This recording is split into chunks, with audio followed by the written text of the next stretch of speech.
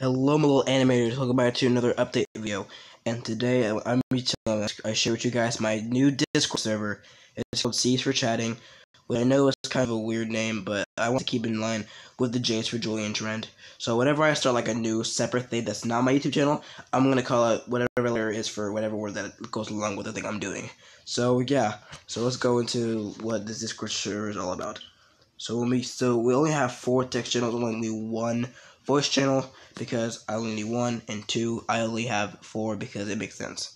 So we have a Q&A where you guys can ask me separate questions about things, and I'll answer them, maybe if I have the time. And then video ideas where you guys can send me videos like video ideas on here, and then I might do them, and then I'll credit you at the end of the video.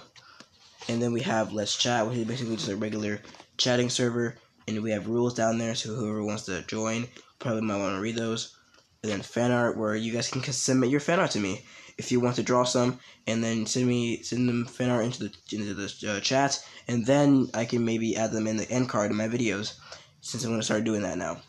Okay, so that's it for the voice for the what's it called text channels.